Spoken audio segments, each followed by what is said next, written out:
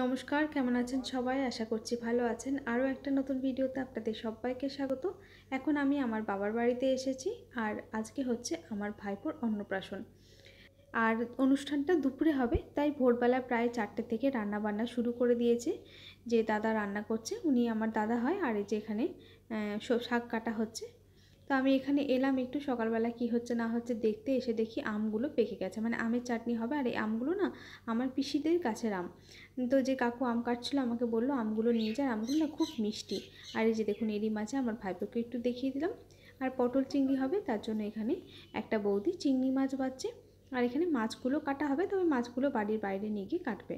আর এই যে এখানে পেঁয়াজ ভাজা হচ্ছে, বোধহয় মাছের জন্য বা পটল চিংড়ির জন্য, কিসের জন্য আমি ঠিক জানি না। আর এই যে এখানে সব সবজিপাতি ভেজে রাখা আছে। আর এখন এখানে মাছ ভাজা হচ্ছে। আর আমরা ভিডিও করছি দেখে যে দাদা মাছ ভাজছিল, সেই দাদা আবার মাছগুলো একটু খুন্তি করে তুলে এভাবে দেখাচ্ছে, দেখুন। তো সকালের দিকটায় আমি একটু আসতে পেরেছিলাম, তারপর স্নান করার পর, খাওয়া দাওয়ার পর আর এদিকে আসতে পারিনি, কারণ তখন তো বাড়িতেও লোকজন আসা শুরু করেছিল তারপর বাচ্চাটা মানে ভাইপোকে স্নান করানো সাজানো ওদিক দিয়ে ছিলাম। তো তখন তারপর দুপুরের পর আমি আর আসতে পারিনি। আর বর্মশয় তখন কোনো ভিডিও করতে পারিনি। ও ব্যস্ত ছিল একটা অনুষ্ঠান বাড়িতে। যা হয় আর কি। তো দেখুন এখানে এখন পটল চিংড়িটা বসিয়েছে যে কড়াইয়ে। মানে আলুটা এখন তরকারির জন্য আলুটা কষানো হচ্ছে। আর এরই মাঝে আমি এখন স্নান করে চলে এসেছি। আমার একটু খিদে পেয়ে গেছে।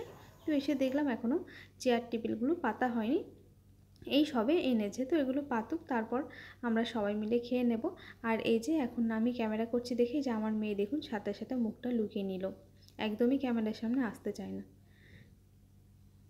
পেয়েছি তুমি? এই বস্তা থেকে মুড়ি নিয়ে খাচ্ছ? নুন মুড়িতে নুন হয়ে গেছে। নুন নাই। নুন প্রেশার না এখন সবার ওই জন্য নুন কম।